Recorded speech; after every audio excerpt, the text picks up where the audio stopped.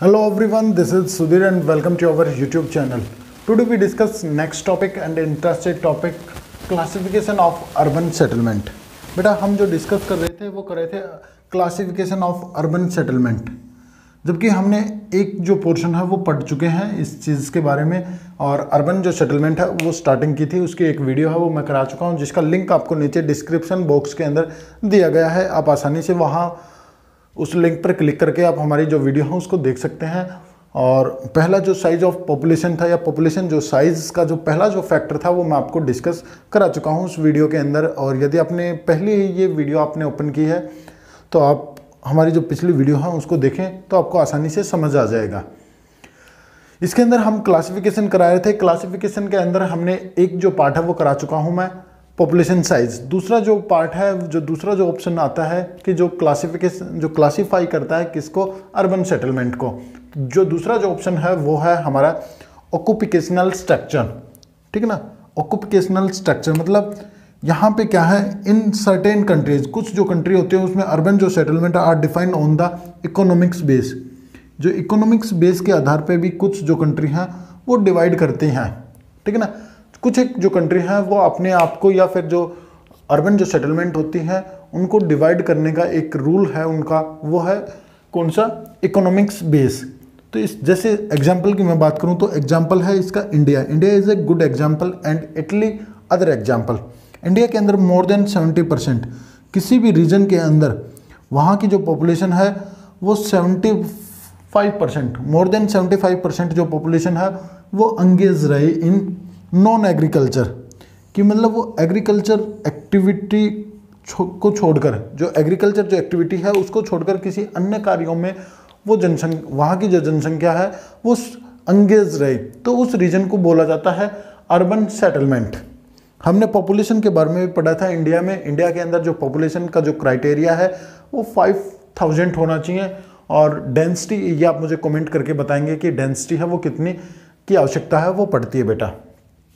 यहाँ पे more than 75 percent population engaged रहे in non agriculture activity is called urban settlement in India ठीक है ना? इन इटली इटली की मैं बात करूँ बेटा। दूसरा एग्ज़ाम्पल है इटली की। जैसे हमने इंडिया के अंदर पढ़ा a settlement is called an urban more than 50 percent more than 50 percent population engaged in non agriculture Italy के अंदर क्या है?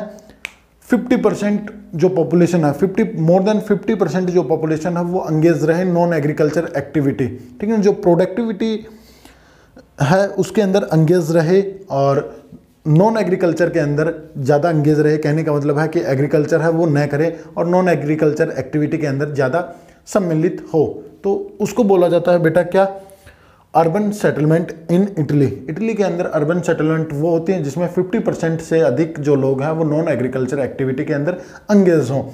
अगला जो आता है, वो आता है एडमिनिस्ट्रेटिव डिसीज़न या खाली आपके एडमिनिस्ट्रेटिव जो है ऑप्शन वो दे रखा बेटा।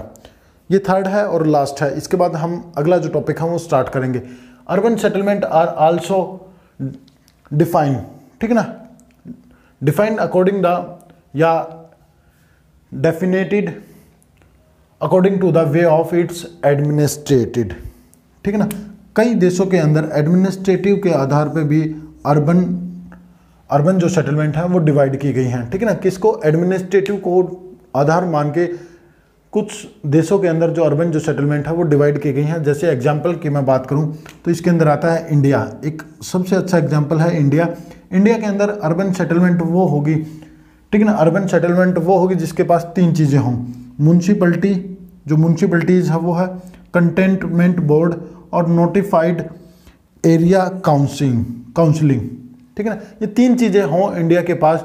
उसके पास a settlement of any size population उसके पास चाहे पॉपुलेशन वो कितनी भी हो, वो मैटर नहीं करती, पर उसके पास ये तीन चीज़ें हैं।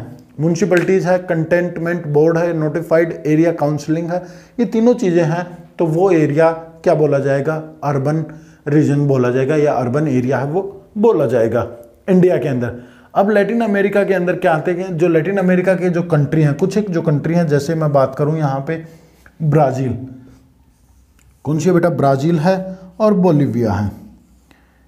ब्राज़ील और जो बोलीविया है, इसके अंदर क्या है कि एनी एडमिनिस्ट्रेटिव सेंटर कोई भी जो एडमिनिस्ट्रेटिव सेंटर है, उसी को, चाहे उसकी पॉपुलेशन कितनी भी हो जो एडमिनिस्ट्रेटिव जहाँ कार्य होते हैं, उस क्षेत्र को या उस रीजन को जो बोला जाता है, वो बोला जाता है अर्बन रीजन ठीक है ना?